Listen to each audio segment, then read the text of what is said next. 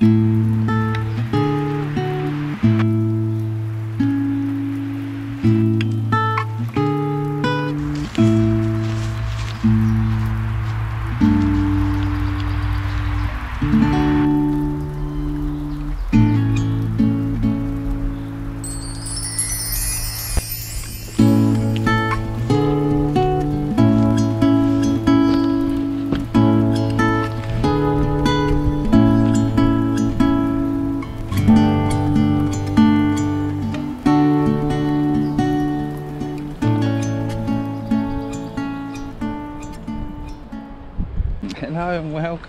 Today I'm out, I've come to this lovely spot.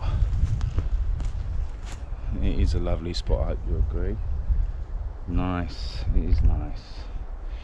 But I've come out to explore the possibility of um, maybe sort of early spring or mid-spring coming out and doing a camp with this gear. A bedroll and a haversack. Well, specifically this is the Helikon Tex satchel, I think. It's like a large haversack. And doing a camp with just that, this gear. Or gear akin to this, like this. I think I've got pretty much what I'd need, depending on conditions. I'd survive anyway. But, yeah. I'm sort of new to sort of doing bed rolls as I've done this one. But I'll show you it in a minute. It's going to get set up up there somewhere maybe have a little snack and a brew and chill. Really like the idea of doing this type of camping. And when I can eventually get out which I hopefully won't be too long I'm not sure if I'll do this on my next camp. I was planning on using some a different setup. But maybe the camp after that this sort of setup. So I've got I have a sack well Helikon Tex satchel with, well, I'll show you what I got in there in a little while. There may be things that I haven't got that I might need for an overnight but yeah, I'll show you what I've got in there. And then I've got this, my bedroll. That's a canvas tarp. Outhaus, I probably haven't wrapped it up as well as it can be, but you know, practice makes perfect. I've got a wall blanket in there, and I've got a canvas and wall ground mat, which I'll show you oh, excuse me but it's getting a bit windy so I'm to get set up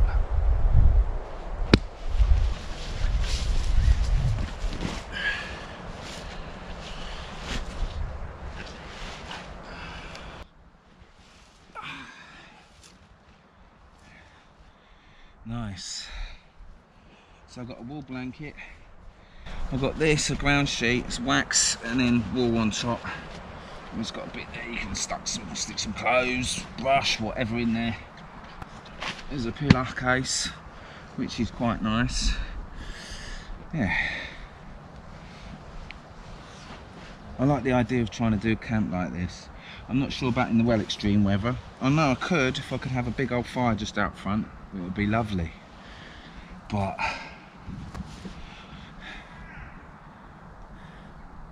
can't always do that in places I go. I've got to have a little fire sometimes after a certain time. I don't feel comfortable doing it sometimes. Depends where I am.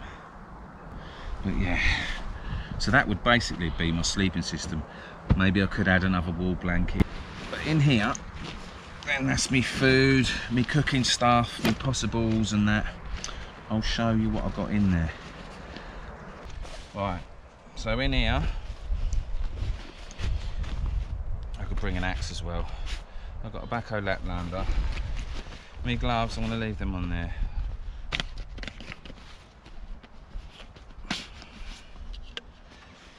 More a knife. this ain't meant to be a loadout, it's not a loadout. I'm just showing you what, what I'm bringing, what I would sort of bring on this type of camp. And just to see if anyone else has any ideas. Well just to run it through my own mind as well have I got what I what I'd need for the night? I've got a Helikon Tex poncho little BCB fire dragon. Uh, Trangia mini it's a bit dented and battered at the minute with the Trangia and them trivets in there. One bottle of water, but I'm near a water source at the minute, so I could gather water and purify it. But. Candle lantern, it's the little UCO one, the one that takes the tea lights. Yeah, got a few tea lights I could do with a clean, but I can't wait to get out. I really can't for a night. But it hasn't been possible. Little David Fryers pouch. This is uh, this is I think this is my one for basically for yeah making fire and purifying water. But I haven't got me water. I haven't got me. Uh, I have a Milbank bag and a Sawyer Mini in here normally, but I haven't. I haven't got. They're not in there. But it's like water and fire. So that's a little fire starting kit. I've got some little bit of birch bark, a few bits, a little bit of fat wood, some candles, a few fire starters in there, some matches, ferro rod, a couple of lighters. You know, the, the normal type of stuff.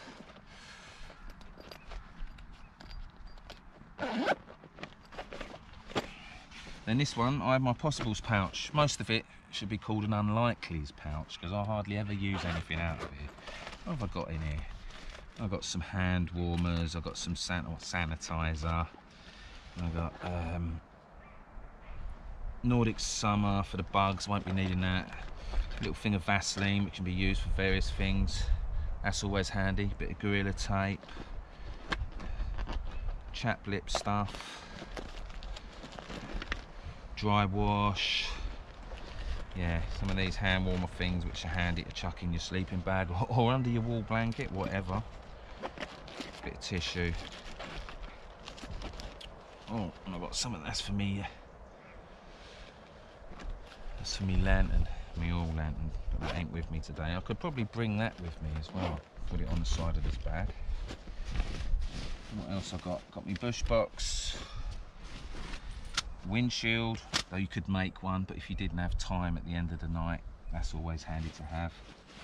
I've got a bivy bag which I could use as a bivy bag or if I felt the cold coming through here I could fill that full of I don't know grass leaves whatever use it as a mattress.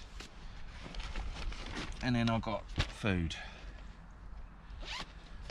So means the cook I mean yeah I think I've got well, yeah, I think I've got everything that I'd need for the night. I haven't got a full load of food that I'd bring. I've got just got snacks in here at the minute. And that reminds me, time for a brew.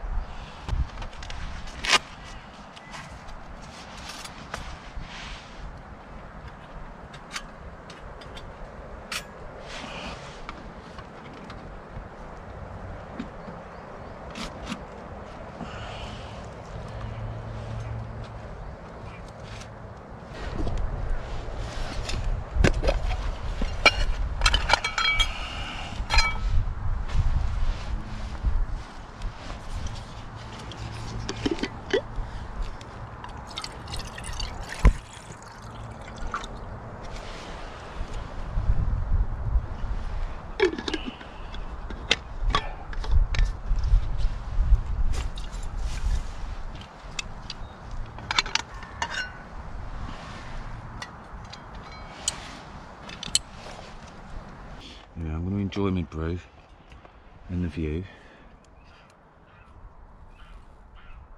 and the little fire. I didn't think that out well really, I should have cut that base bit off there so that the, the windshield sits nice but Or there is plenty of wood around here where I could just prop it up and make one easy, but, but yeah.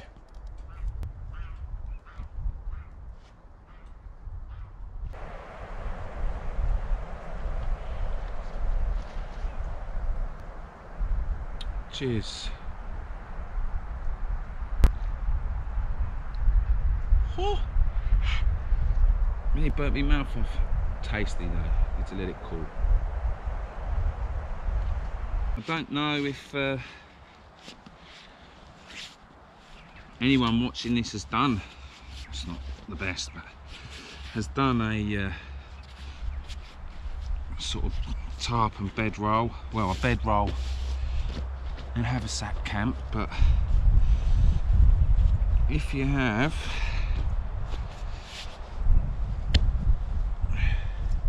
let us know how it went. I suppose once you're wild camping and stuff and you've been a few times you sort of know what you need to make you comfortable.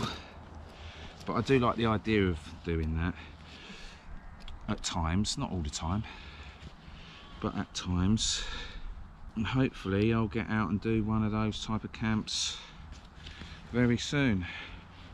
It's been nice to get out and have a little test of that situation with a bedroll and a haversack but like carrying it what I had I don't know how much weight I had but carrying it felt comfortable to me. Bye bye to that lovely spot?